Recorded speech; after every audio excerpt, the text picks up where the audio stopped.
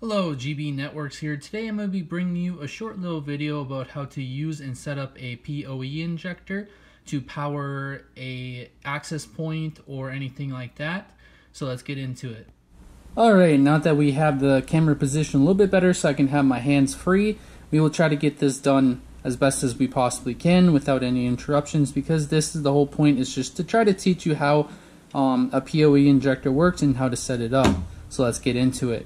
First thing I do want to note, it does look a little bit messy. I don't have a ton of room to work with, but we will try to get done as best as we can. So the first thing that we want to do is we want to get our PoE injector and we want to take the power cable to it and we want to plug it in.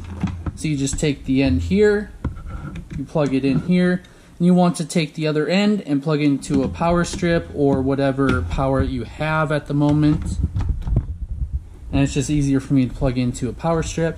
And as you can see, it is blinking, or not blinking, but it's just like a silver white. So that is good, that means it is powered on. And so as you can see, there are two ports. There's a PoE port and a LAN port. LAN port here, you want to plug into your switch, and the PoE you want to plug into your access point or whatever you want to um, power on through PoE. This makes it so you don't need a PoE switch.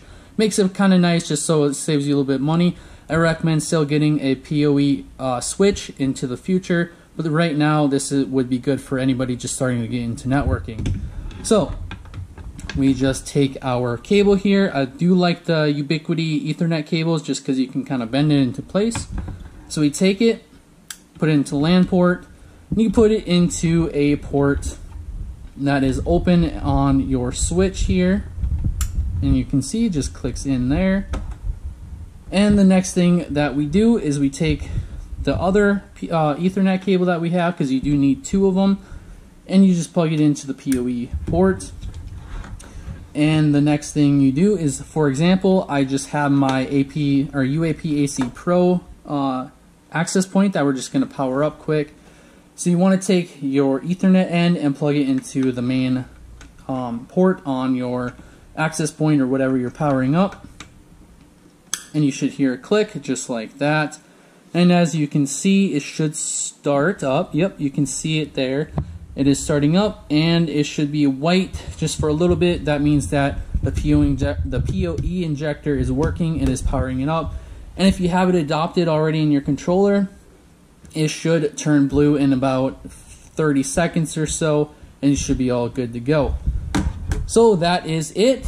The video is almost ending. I will say here though, is that they are making a PoE Plus injector, which I believe is already out. You, there's a couple different ones. There's a PoE Plus for uh, Wi-Fi 6 access, accent, access points.